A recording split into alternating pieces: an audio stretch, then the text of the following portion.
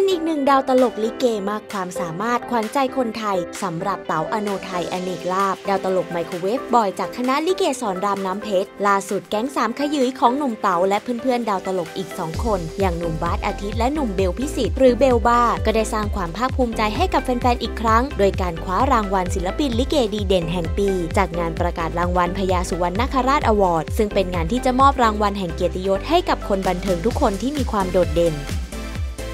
โดยก่อนที่ทั้ง 3 หนุ่มจะเดินทางไปรับรางวัลที่หอประชุมกรมประชาสัมพันธ์ ที่กำลังจะจัดขึ้นในวันที่ 1 กันยายน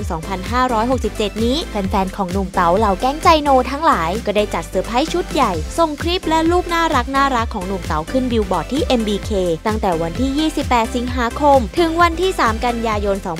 2567 เพื่อรวมแสดงความยินดีกับความสำเร็จในครั้งนี้ และให้แฟนๆ ได้ตามไปถ่ายรูปเก็บความทรงจำดีๆ กันอีกด้วย